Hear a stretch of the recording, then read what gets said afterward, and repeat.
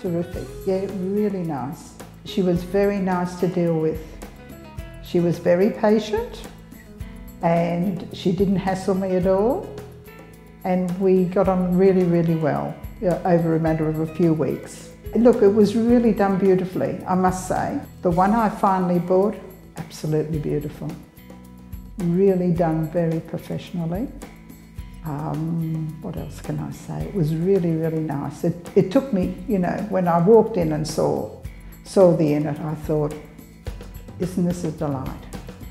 Exactly how the photograph was when I walked in and walked down the hallway. It was this, I knew it was the house or the unit I was looking at.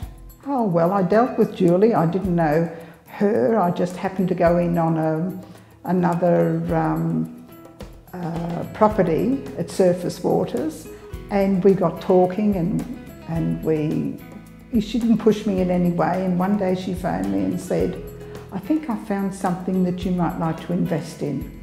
So I said, all right, I'll call over and have a look. And she took me there and that's when I walked in and I, she showed me the photograph before and I said, show it to me. And we walked in and saw. And I thought, this is just exactly what I wanted. 10, definitely. Oh, well, everybody was always very nice to me, even the last Jess at the reception. When she, I walked in, she always said, hello, Beth, how are you? So, you know, that's the greeting that you receive from them. I already have. I already have done that and passed out Julie's cards.